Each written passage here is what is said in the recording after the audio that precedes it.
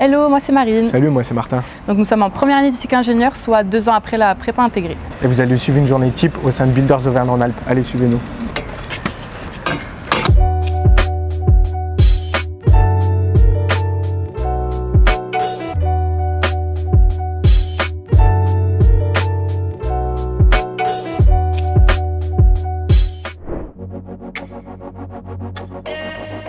Avant de rejoindre l'école, on a fait tous les deux un lycée généraliste option maths physique. Et moi, j'ai intégré Builders Auvergne-Rhône-Alpes parce que le BTP, ça m'a toujours intéressé et que j'avais déjà fait des stages euh, par le passé dans ce secteur-là.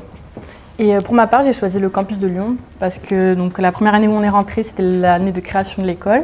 Et euh, donc l'école est encore en train de se créer et voir le déroulé des travaux, c'est très intéressant, sachant qu'on est dans le secteur du BTP. Alors une journée type ici, c'est les cours qui commencent à 8h30, qui se finissent à 11h45 le matin. On reprend autour de 13h30 pour finir à 16h45. Et euh, là, on va aller en cours de méthode des éléments finis. Il appeler des nœuds, d'accord? Et ce qu'on va appeler valeurs des déplacements à chaque nœud, c'est-à-dire par exemple là, j'ai B1, B2, les valeurs du déplacement donc là, nous allons réaliser un TP de résistance des matériaux. Donc on va fixer une poutre sur un support afin de calculer les efforts internes. On va calculer le moment fléchissant et les efforts tranchants. L'objectif de cet essai, c'est qu'on puisse mesurer les efforts tranchants et le moment fléchissant d'une poutre chargée par une force. On va faire que des forces ponctuelles simples euh, et pas vraiment des forces réparties. Et une poutre isostatique. D'accord?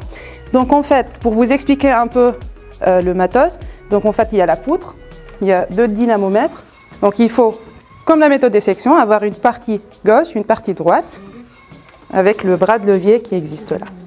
Donc entre la distance du capteur et la poutre. Et comme ça, on peut noter euh, expérimentalement le moment fléchissant, l'effort tranchant en chargeant une poutre avec une force. Voilà, il y en a plusieurs jeux de poids ici.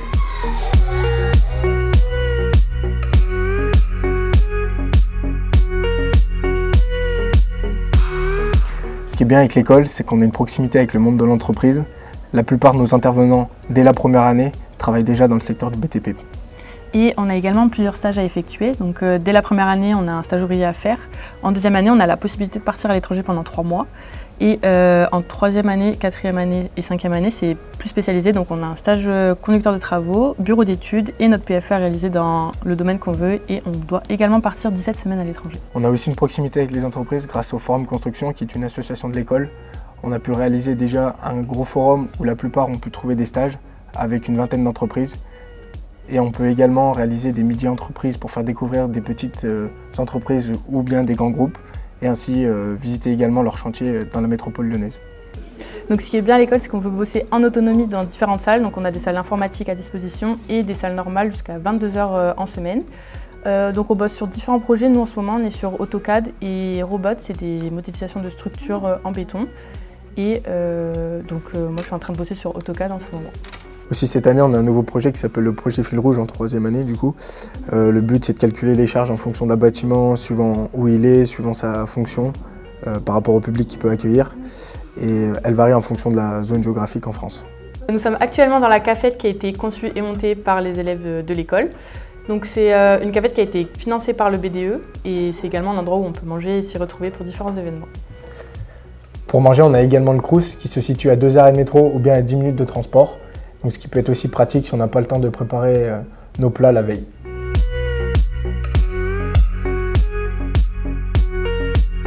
Donc là, on est jeudi après-midi. Jeudi après-midi, ça veut dire après-midi banalisé. Donc là, c'est pour les compétitions. On est sur un tournoi de rugby 7 qui, compte pour les qualifications au final de championnat de France. Alors, euh, on fait sport avec le NTPE, donc on, va dire on allie, on allie nos forces pour avoir une équipe la plus compétitive possible. Donc là, c'est niveau CFE. Et il n'y a pas que le rugby, il y a foot, basket, volley, voile, judo, muscu, il y a tout ce qui, tout ce qui vous plaise. Les entraînements, ça se passe le lundi, mardi, mercredi. Et si on n'adhère pas à cette association et qu'on ne participe pas aux compétitions le jeudi après-midi, eh ben, on doit faire euh, le PS le mardi après-midi euh, avec l'école cette fois-ci. Donc euh, ce qui est bien aussi avec la position de l'école, c'est qu'on a beaucoup de moyens de transport, dont le tram ou le métro A, qui sont accessibles partout dans Lyon et qui amènent à 200 mètres de l'entrée de l'école. Donc euh, là, on est actuellement un jeudi café. Notre BDE, organise souvent des midis ou des repas du soir euh, pour qu'on se rejoigne tous entre promos afin de créer de la cohésion et un moment de convivialité. Mais on organise aussi des événements extérieurs. Donc c'est vrai que notre vie étudiante, elle ne s'arrête pas qu'au sein de l'école. Euh, on a déjà organisé plusieurs euh, sorties au bar entre promos bah, pour euh, se souder entre nous, pour mieux connaître les gens de notre promo, connaître ceux des, bah, autres promos. On a un système de parrainage, donc c'est sympa de, bah, mieux connaître son, neveu. Et on a la chance ici à Lyon d'avoir une ville assez, dynamique, assez vivante pour les étudiants. Il y a beaucoup, d'écoles et Lyon organise de belles fêtes comme la fête des Lumières par exemple. Donc c'est vraiment un très gros point ici de pouvoir rester entre nous et, et d'être soudés.